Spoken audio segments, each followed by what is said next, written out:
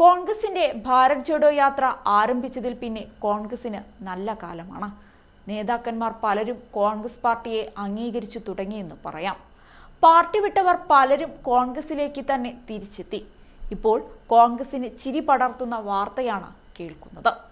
ഭാരത് ജോഡോ യാത്ര കശ്മീരിലേക്ക് കടക്കാനിരിക്കവേ ഗുലാം നബി ആസാദിന്റെ ഡെമോക്രാറ്റിക് ആസാദ് പാർട്ടിയിൽ നിന്നും കൂടുതൽ പേർ കോൺഗ്രസിൽ എത്തുമെന്നാണ് മുതിർന്ന നേതാവ് ജയറാം രമേശ് പറയുന്നത്.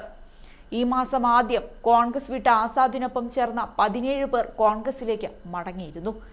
മുൻ ഉപമുഖ്യമന്ത്രി ഉൾപ്പെടെയുള്ളവരാണ് പാർട്ടിയിലേക്ക് തിരിച്ചെത്തിയത്. കശ്മീർ മുൻ ഉപമുഖ്യമന്ത്രി താരാചന്ദ് മുൻ മന്ത്രിമാരായ പിർസാദ മുഹമ്മദ് സയ്യിദ് മനോഹർ ലാൽ ബൽവാൻ സിംഗ് എം എൽ എമാരടക്കമുള്ളവരാണ് കോൺഗ്രസിൽ തിരിച്ചെത്തിയത്.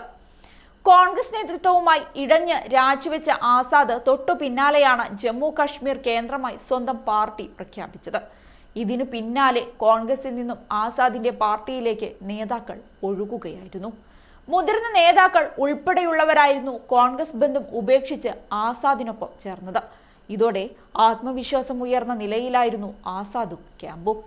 നിയമസഭാ തിരഞ്ഞെടുപ്പിൽ ഇത്തവണ ശക്തമായ മത്സരത്തിന് തയ്യാറെടുക്കുകയാണെന്നും ഇതിനു പിന്നാലെ ഗുലാം നബി പ്രഖ്യാപിച്ചിരുന്നു. എന്നാൽ പാർട്ടി പ്രഖ്യാപിച്ച് രണ്ട് മാസം തികയും മുൻപാണ് കോൺഗ്രസിലേക്ക് നേതാക്കൾ ഇങ്ങനെ കൂട്ടത്തോടെ മടങ്ങുന്നത്. അതേസമയം കോൺഗ്രസ് വിടാനുണ്ടായ തീരുമാനം ജീവിതത്തിലെ വലിയ മണ്ടത്തരമായി പോയെന്നാണ് താരാചന്ദ് എന്ന നേതാവ് പറഞ്ഞത്. ഞങ്ങളുടെ ജീവിതം മുഴുവൻ കോൺഗ്രസിന് വേണ്ടിയാണ് ഞങ്ങൾ ചിലവഴിച്ചത്. എന്നാൽ ചില വികാരങ്ങളുടെ പുറത്ത് ഒരു തെറ്റായ ചുവടുവെപ്പ് എടുക്കേണ്ട സാഹചര്യം ഞങ്ങൾക്കുണ്ടായി. തെറ്റായ തീരുമാനമായിരുന്നു. എന്നെപ്പോലൊരു പാവപ്പെട്ട ഒരാൾക്ക് ഒരു ഐഡന്റിറ്റി നൽകിയ പാർട്ടിയാണ് കോൺഗ്രസ്. എന്നെ എം എൽ എ ആയും പ്രതിപക്ഷ നേതാവായും നിയമസഭാ സ്പീക്കറായും ഡെപ്യൂട്ടി സ്പീക്കറായും നിയമിച്ച പാർട്ടിയാണിത്. വികാര തള്ളിച്ചയിലും സൗഹൃദത്തിന്റെ സ്വാധീനത്താലും ചെയ്തു പോയ തെറ്റാണ്.